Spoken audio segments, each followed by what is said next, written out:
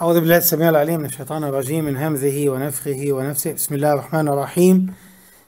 الحمد لله وكفى وصلاة وسلاما على عباده الذين اصطفى. تكسم هي تنتيكو مع الله سبحانه وتعالى بتكر هنم بهنم أم فلوتل سي أك أم يلب يو فيتنا رتين تفينس نوغن قدوم فاردير كان أتم الله سبحانه وتعالى ويو فيتنا رت محمد صلى الله عليه وعلى آله وسلم وعلى آله وسلم har överlämnat budskapet till oss i sitt klara vita sken.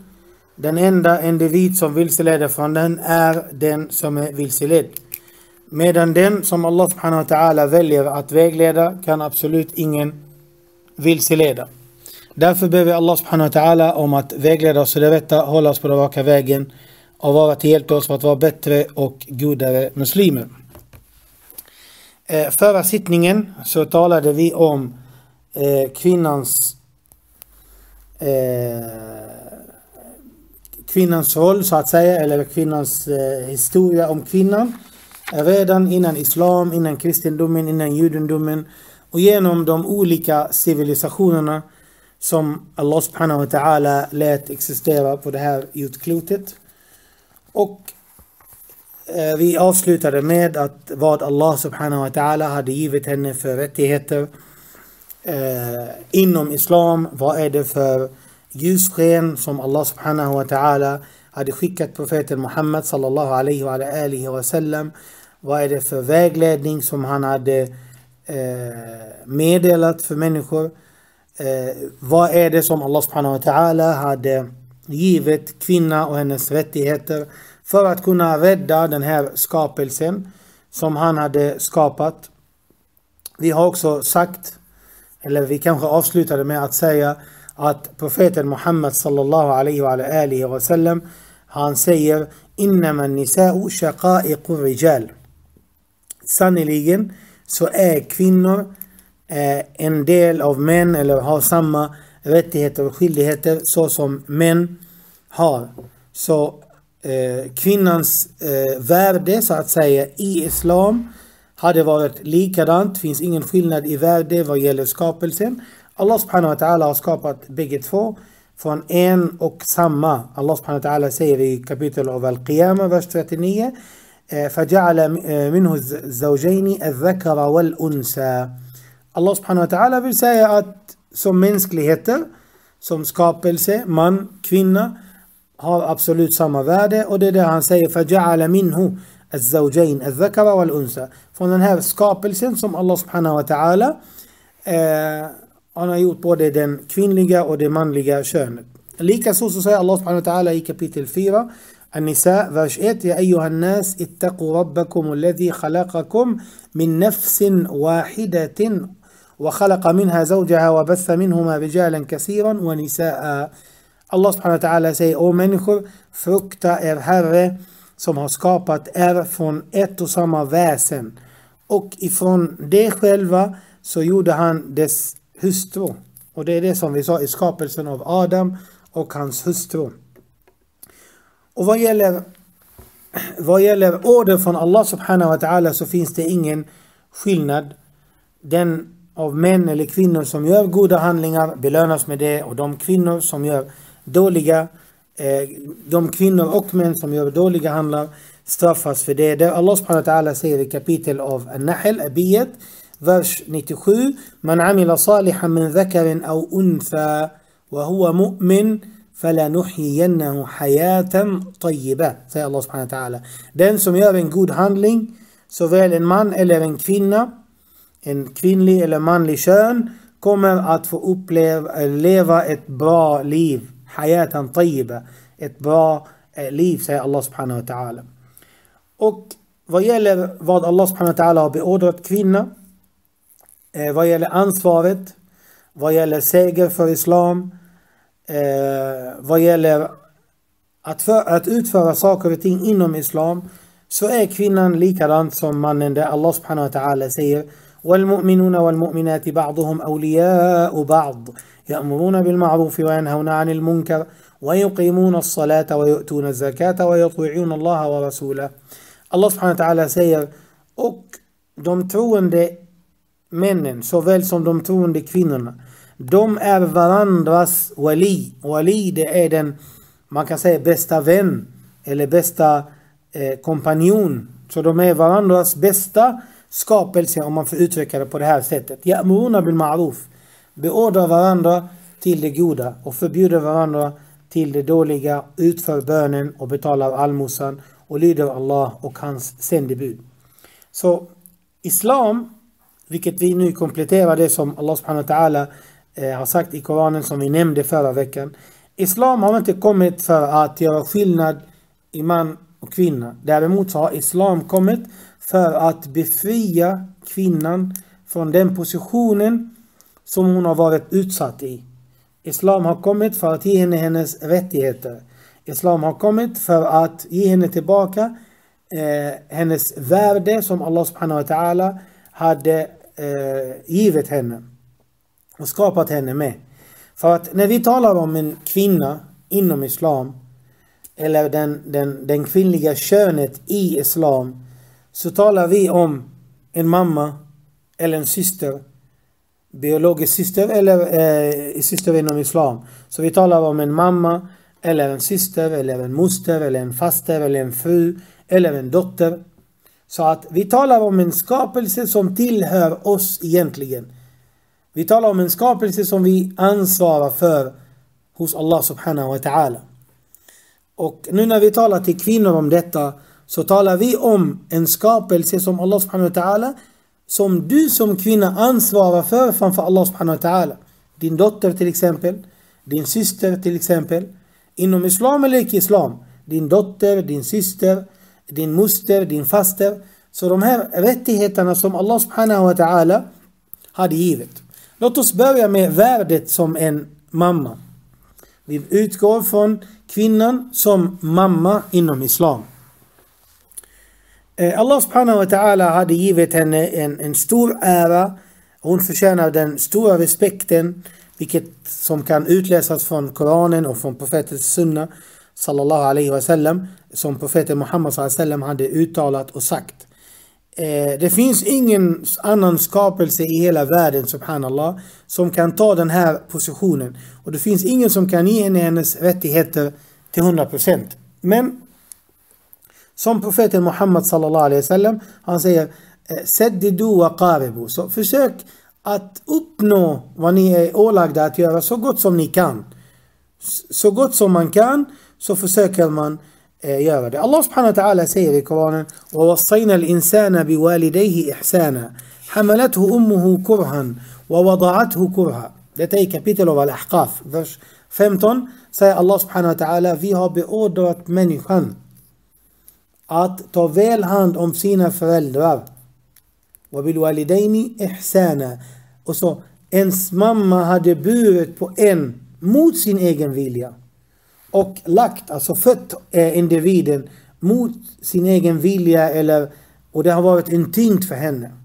Så subhanallah, det första, den här skapelsen som Allah subhanahu wa ta'ala har beordrat mig att respektera. Den här skapelsen som Allah subhanahu wa ta'ala har beordrat mig att Eh, behandla henne på ett bra sätt. Ska man inte glömma att Allah subhanahu wa ta'ala la hennes värde efter hans rättighet. Och det kommer inshallah i, i kommande koranverserna. Men Allah subhanahu wa ta'ala säger وَقَضَى رَبُّكَ أَلَّا تَعْبُدُوا إِلَّا إِيَّهِ وَبِالْوَالِدَيْنِ إِحْسَانًا Gud beordrar er att tillbe enbart honom och att ni behandlar föräldrarna på ett bra sätt. Så att eh, om man utgår från en hadis. Det kom en man till profeten Muhammad sallallahu alaihi wasallam.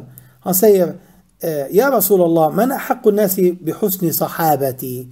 O Allahs sändebud, vem är det som förtjänar bäst kamratskap av mig?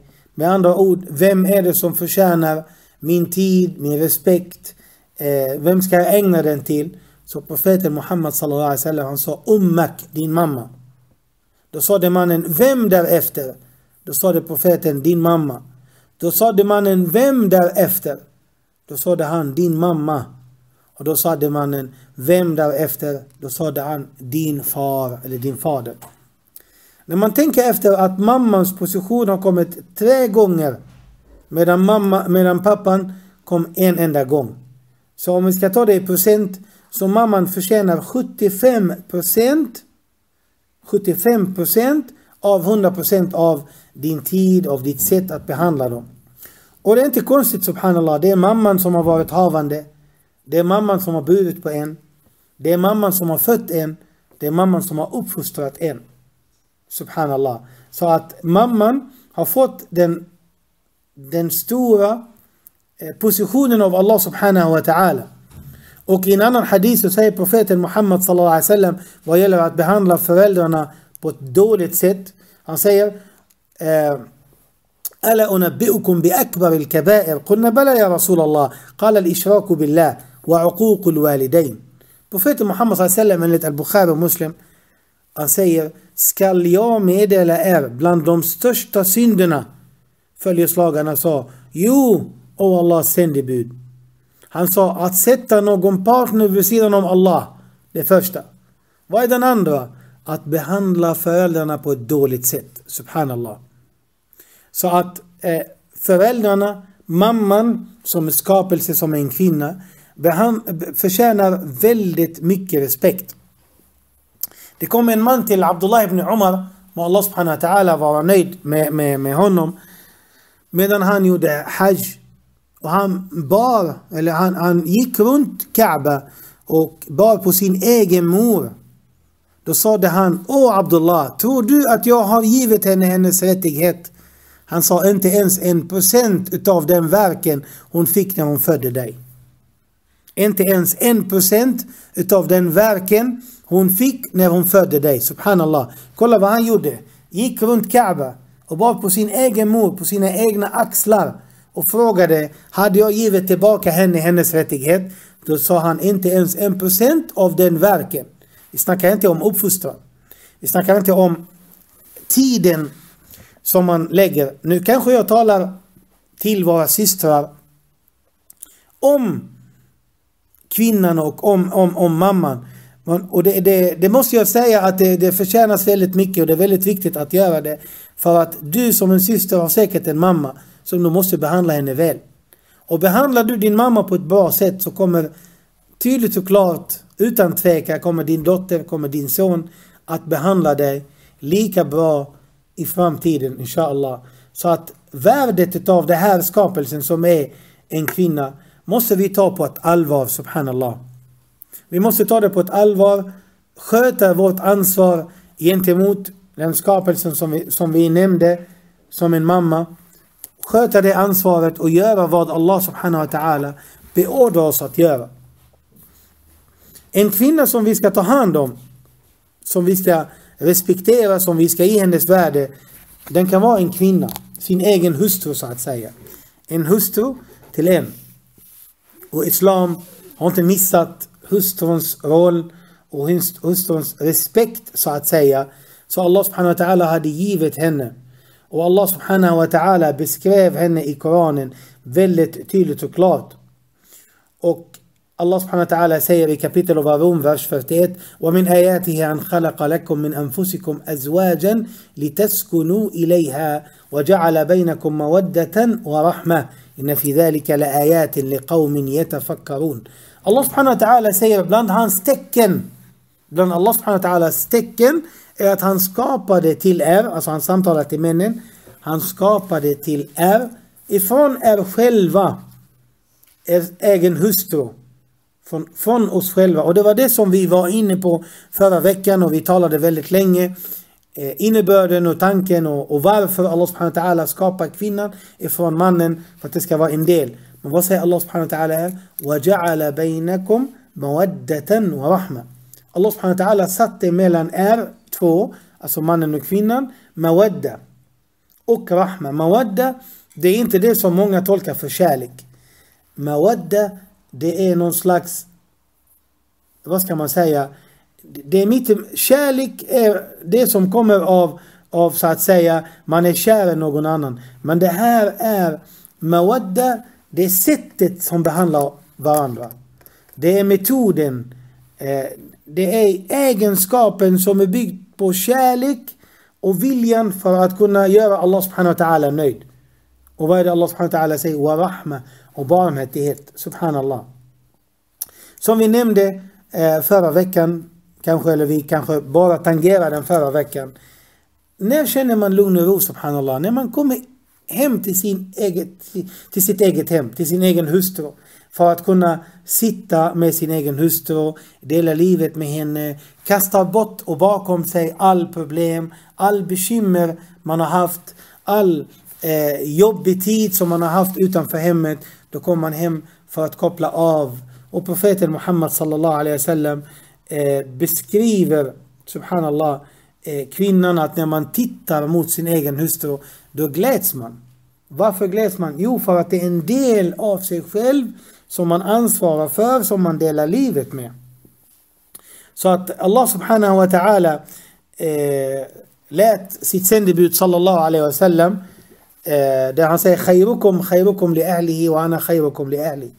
Eh, profeten Muhammad sallallahu alaihi wasallam sa vad gäller poängtera frugans roll inom islam då sa det profeten Muhammed, den bästa av er, det är den som behandlar sin hustru som bäst.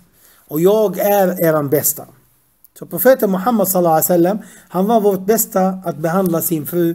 Vi kommer inshallah in när vi kommer nästa vecka att tala om Aisha radiallahu anha wa ardaha. Då kommer vi in i den här punkten för att se hur behandlade profeten Muhammed sallallahu alaihi wasallam Aisha? Hur tog han hand om Aisha? Hur bemötte han Aisha? Hur Aisha bemötte profeten Muhammed sallam. Och säg inte att han var profet. Så det är klart hon ska bemöta honom på ett bra sätt. Lot alayhi salam. Han var också en, en, en profet. Han var ett sändebud från Allah subhanahu wa ta'ala. Han var nabi. Och hans hustru gick emot islam. Helt och hållet. Hon förnekade islam helt och hållet. Så att det här är ömsesidigt som Allah subhanahu wa ta'ala har skapat i oss. Och den här kvinnan, subhanallah, eh, livets glädje består av en rättfärdig kvinna. Det är därför profeten Muhammad sallam, han sa Tunkahul mar'ati li arba. Man gifte sig med en kvinna på grund av fyra anledningar. Så man gifte sig med kvinnan på grund av fyra anledningar. Och en av anledningarna som Allah subhanahu wa ta'ala, Allahs sändebud sallallahu alaihi wasallam sa. Han sa man gifter sig med en, kvinna, med, med en kvinna på grund av hennes släktskap som man brukar säga i Somalia, kabila, vilken kabila. Ju bättre kabila, desto bättre position. Så då, då väljer man rätt kabila. Eller hennes pengar om hon är rik. Eh, Limaliha wa jahiha. Vilket släktskap kvinnan har. Eller det fjärde är, eller för hennes religion. Aulidiniha. Eller på grund av hennes religion. Så säger profeten Muhammed sallam Fadfar bizati dini taribat yadak. Väl kvinnan med religion, annars kommer din, dina händer att dammas. Vad händer när du har damm på händerna? Då har du varit i sandlådan, torr sandlådan. Vad kommer dammet att komma upp till? Din, ditt ansikte. Så att varför talar vi om kvinnan? Jo, när vi talar om kvinnan för kvinnor och just som positionen som en fru, det är bara för att en kvinna ska vara rättfärdig, lära sig hur man ska behandla sin man. Eh, och vi snackar inte om skyldigheter och rättigheter. Inom islam finns det ingenting som heter kvinnans skyldighet i islam och mannens skyldighet gentemot frun. Inom islam så finns det gemensamma skyldigheter och rättigheter gentemot varandra. Man befinner sig så att säga i en båt, både kvinnan och mannen. De gifter sig med varandra och befinner sig i en båt och den här båten ska segla så långt som möjligt utan några problem. Vissa problem kanske inträffar under resans gång men det gäller att hantera dem med så liten smärta som möjligt. Så det är därför profeten Muhammed sallam säger Khairukum, khairukum li ahli. Den bästa som behandlar sin hustru på ett bra sätt. Likadant så att kvinnan måste lyda sin man. Hur lyder kvinnan sin man? Allah subhanahu wa ta'ala har kommit in i den här religionen för att lära kvinnan hur kvinnan lyder sin man. Och vad är det profeten Muhammed sallallahu Han säger innama ta'atu bil ma'ruf. Så att lydnad är i ma'ruf. Och vad är ma'ruf? Det som är sedvänligt. Det som är godkänd så att säga inom urf. Urf det är det som är vanligt bland människor. Till exempel Det är sedvänligt att kvinnan till exempel tar hand om sina barn i hemmet. Vi sa förra veckan att det inte är hennes plikt. Visst, det är inte hennes plikt att uppfostra barnen, men hon gör det som maruf, det är det som är sedvänligt. Det är det som alla känner till. Alla gör på det här sättet. Medan mannens skyldighet är att försörja hemmet, fixa ett hem för familjen. Och på så sätt så blir det ett, ett ömsesidigt ansvar som bägge två har för att den här resan ska gå vidare. Så att kvinnan ska se till och eh, låta sitt hem, det här är väldigt viktigt, kvinnan, ska uttrycka mig på rätt sätt här, kvinnan ska se till på bästa möjliga metod, på minst skada, på minst bekostnad, jag menar, vad jag menar med bekostnad i det här fallet, inte ekonomisk bekostnad, men bekostnad av, av, eh, eh, av bekymmer och problem, kunna låta det här hemmet gå så gott som hon eh, kan genom att kunna ha rätt klädsel på sig, genom att skydda sig själv, genom att skydda sin, sitt eget barn eller sina egna barn, genom att vara till hjälp till sin man, genom att tillsammans inshallah de ska bygga ett, ett, ett bra hem och kunna eh, gå vidare.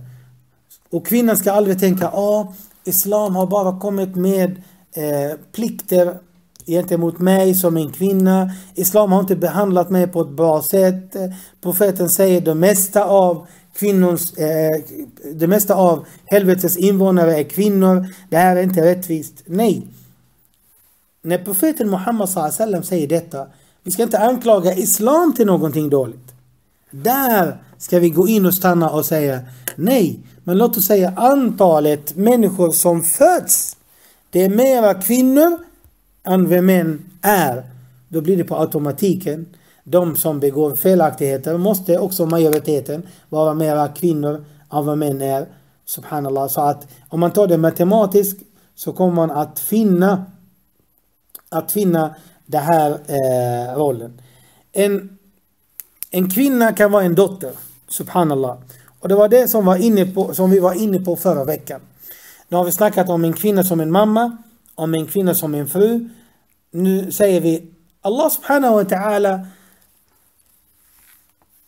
låg ett ansvar på, på, på föräldrarna gentemot den här dottern.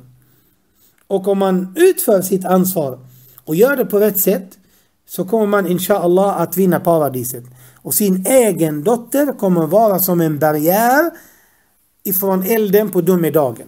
Och det kommer en eh, profeten Muhammed sallam sa den som uppfostrar, alltså män och kvinnor, den som uppfostrar tre döttrar tills de kommer upp till vuxen ålder och gifter bort dem kommer få paradiset.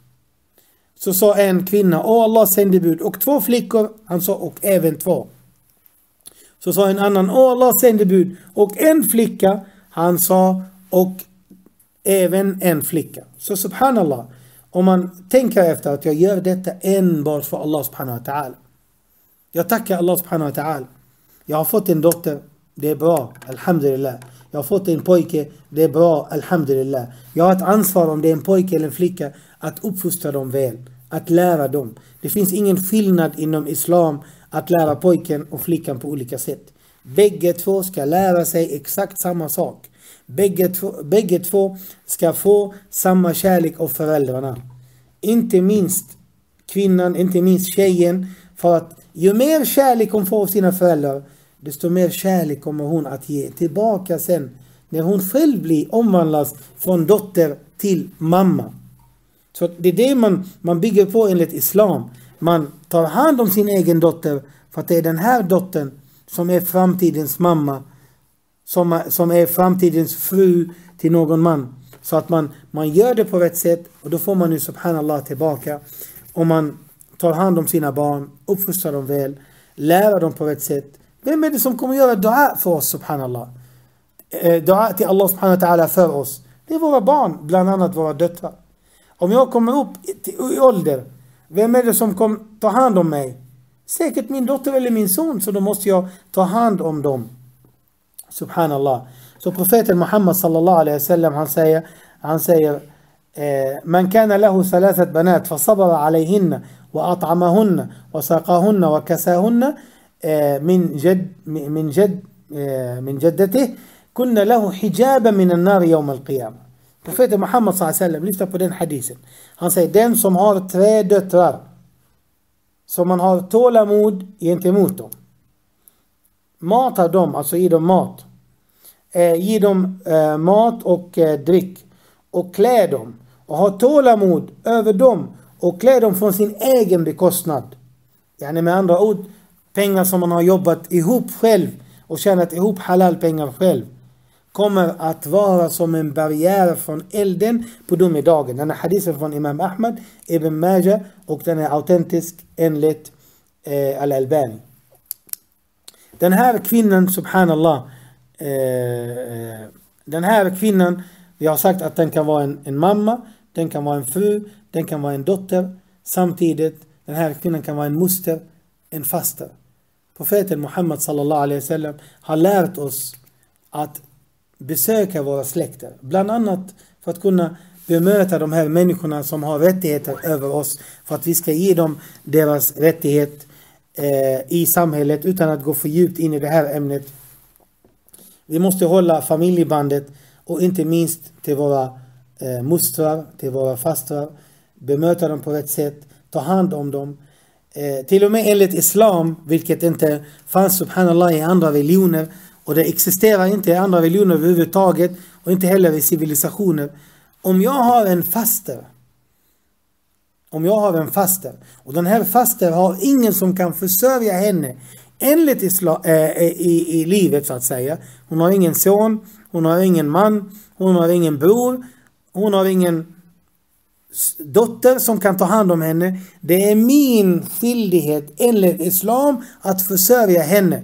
Hon kan gå till domaren och säger det här är min brors son och han är den enda som existerar på det här jordklotet i, i släktband för mig. Då kommer domaren att döma mig för att jag är skyldig, jag är ålagd att försörja henne, ta hand om henne, fixa ett boende för henne. Var finner man detta subhanallah? Bortse nu från den ekonomiska världen vi lever i där man kan få socialbidrag och hjälp och så vidare. I våra, I våra länder existerar ingenting av detta. Då kommer Islam med sina regler för att ge skydd till alla de här människorna. Med andra ord, Allah subhanahu wa ta'ala skapade oss och Allah subhanahu wa ta'ala glömmer ingen av oss överhuvudtaget. Så kvinnans roll i samhället, den är väldigt stor.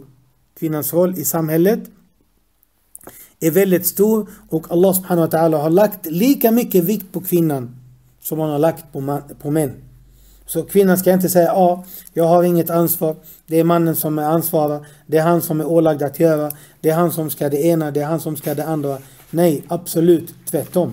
Så kvinnan måste lära sig sin religion. Kvinnan måste lära sig ta hand om sitt hem. Kvinnan måste lära sig att ta hand om samhället.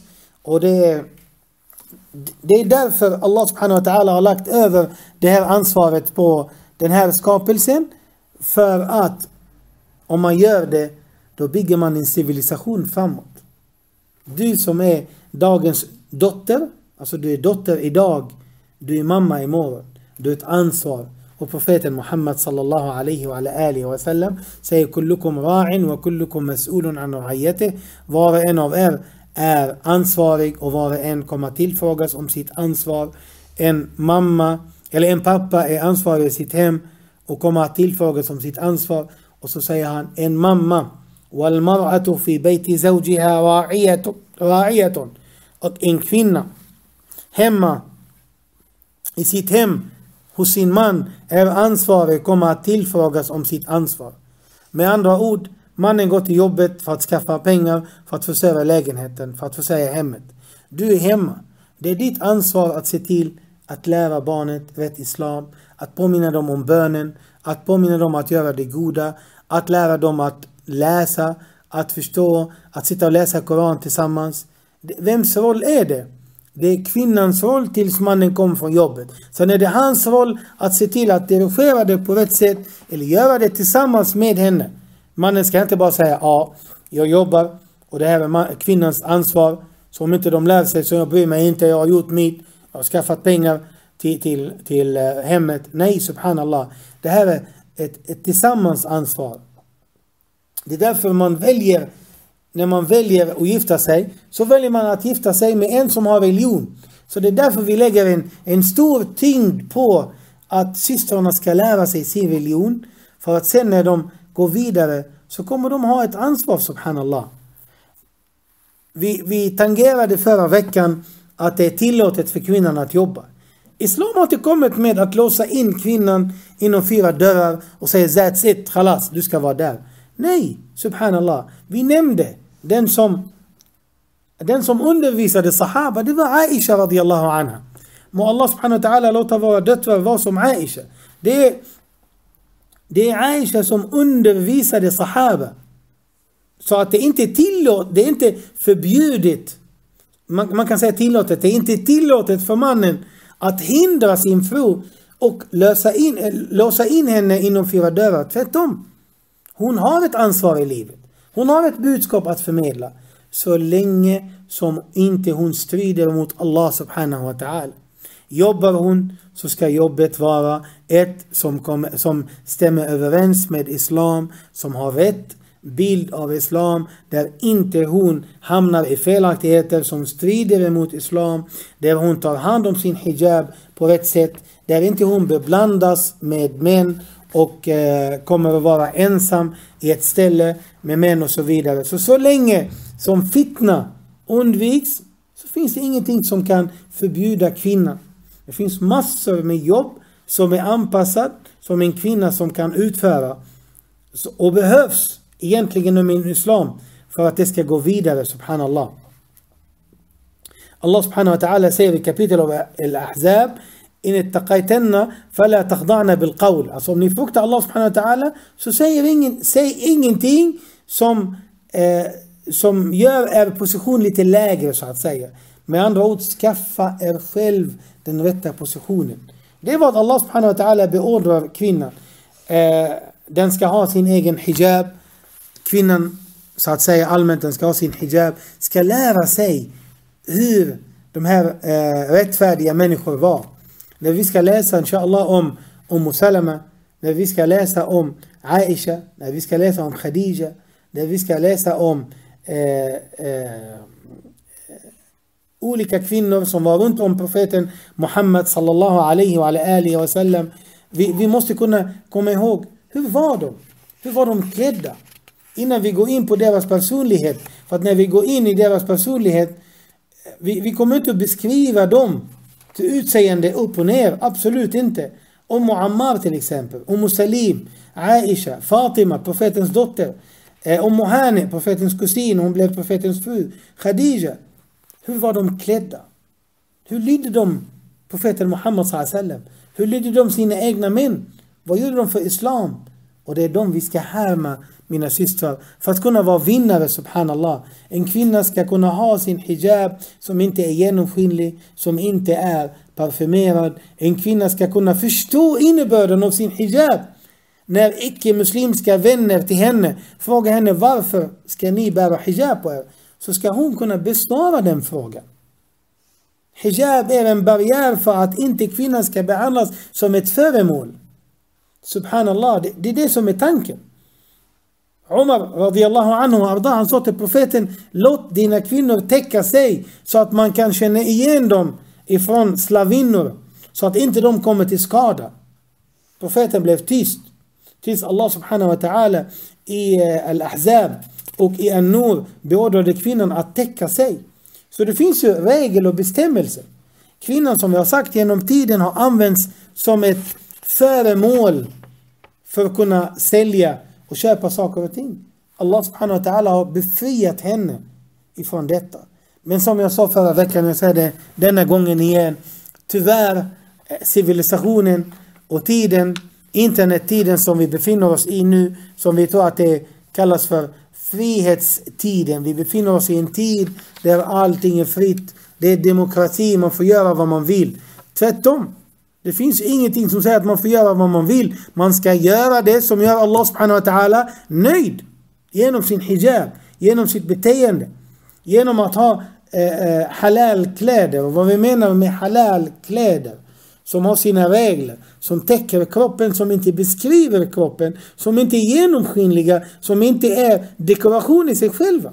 Det, det är det som är tanken. Inte bara ha, ha hijab på sig, så som jag brukar kalla och folk, folket i Stockholm för ungefär tio år sedan när jag hade en föreläsning och jag sa, jag nämnde det Hoppas att de har förlåtit mig. Men jag säger det en gång till idag. Kanske de kan hoppas att de inte blir arga igen. Om det är samma personer som lyssnar på det. Vi vill inte se den här libanesiska hijab. Det, det, en syster har hijab på sig. Men det är mer dekoration. Det är mer mode. Det är mer tajta kläder. Det är inte den hijab som man är ute efter.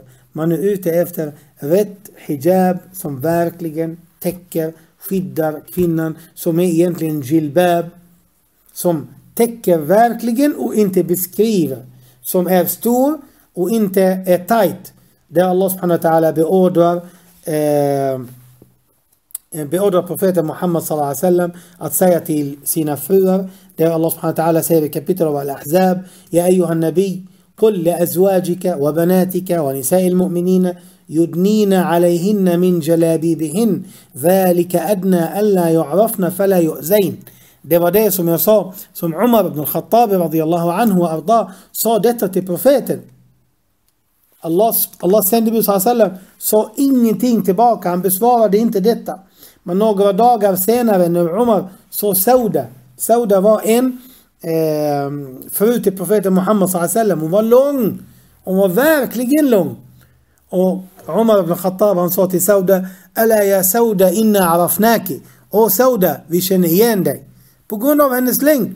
Så profeten Muhammed sallallahu alaihi wasallam fick den här versen från Allah subhanahu wa ta'ala i kapitel av Al-Ahzab, vers 59. Säger Allah subhanahu wa ta'ala, Åh, du sändebudet, säg till dina fruar, dina döttrar, och nisa al-mu'minin och de troendes fruar, att täcka sig från deras jilbab. An yudnina alayhinna min jalabibihin. Att klä sig med deras jilbab. Så att inte de ska kännas igen så att inte någon skada ska komma till dem.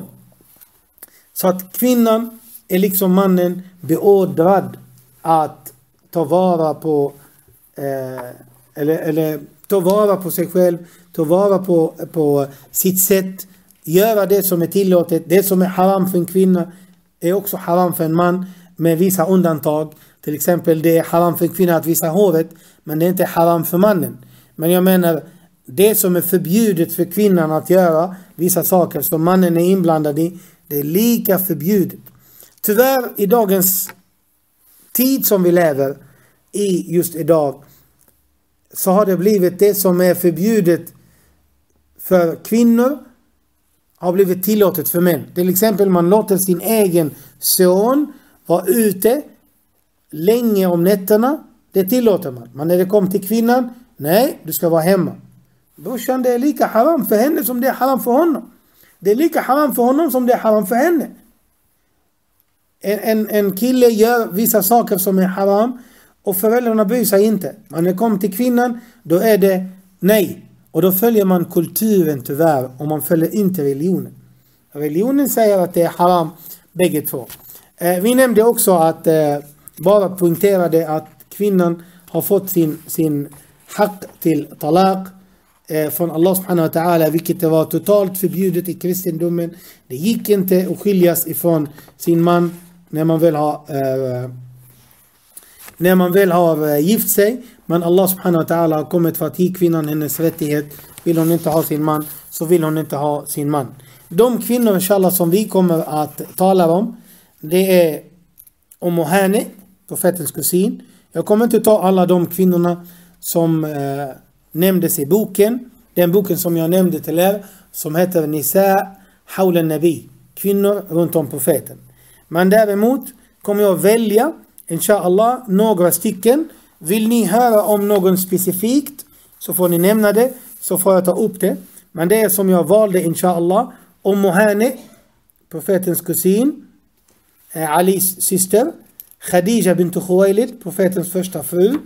Aisha bint Abu Bakr. Aisha, må Allah subhanahu wa ta'ala vara nöjd med henne, som är eh, Abu Bakrs dotter.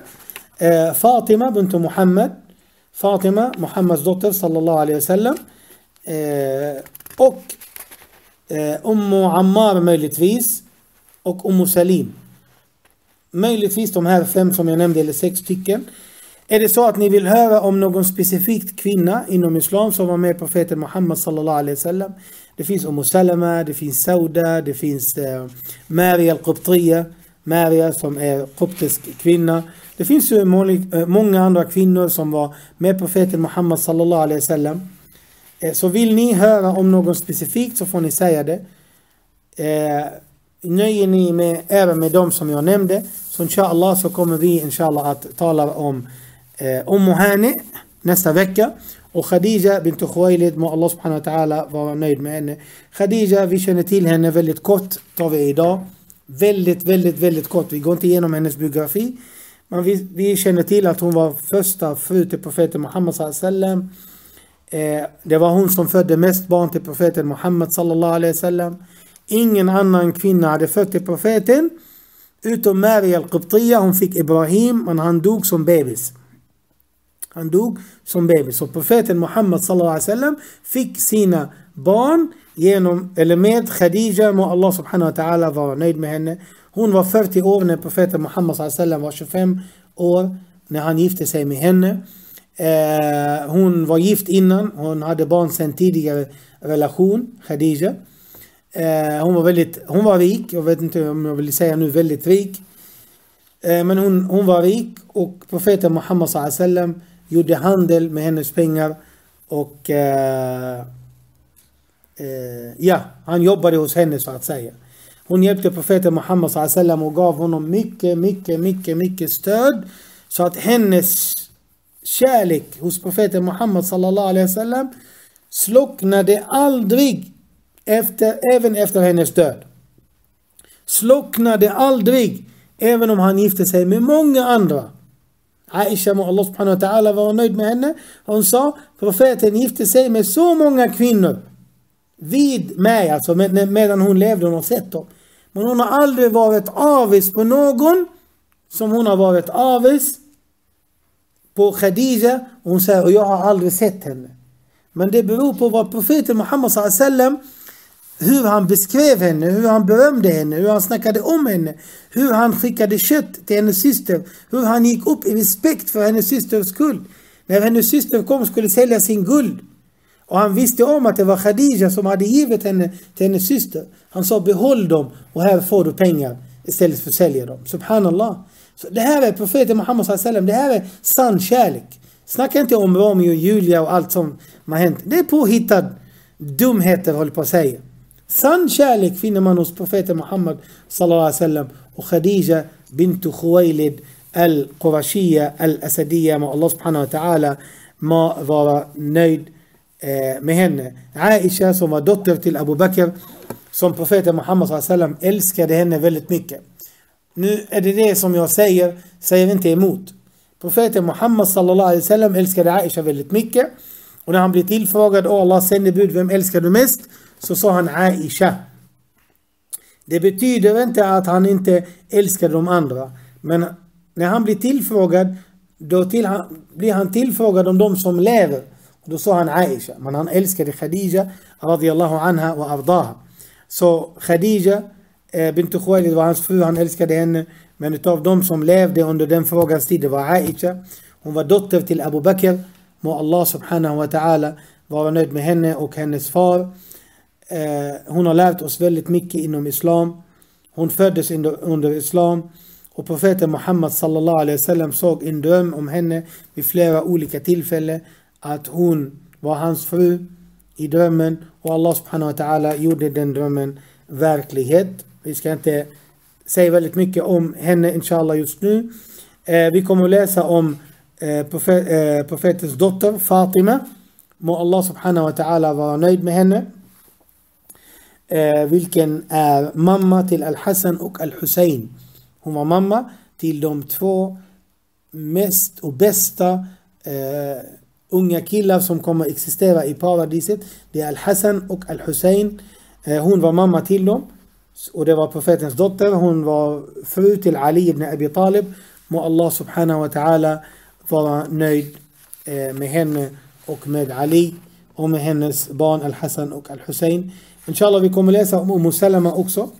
Umm Salama och lära oss lite om Umm Salama och hur hon tillbringade tiden med profeten Muhammad sallallahu alaihi wa ala alihi wasallam. Så inshallah med detta så avrundar vi för idag och ber Allah subhanahu wa ta'ala om att underlätta saken för oss och låta oss inshallah klara av de kommande sittningarna med eh, olika folk, eh, Eh, kvinnor som har varit runt om profeten Muhammad sallam.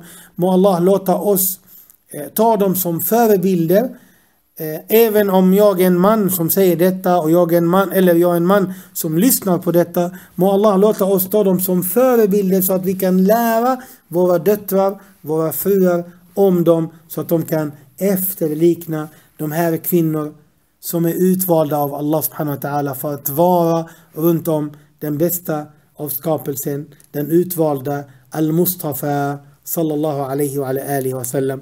Vi ber Allah subhanahu wa ta'ala att vara till hjälp till oss för att vara bättre och goda med muslimer. Med detta sätter vi punkt för idag. Subhanakallahumma wa bihamdika nastaghfiruka wa natubu ilaik.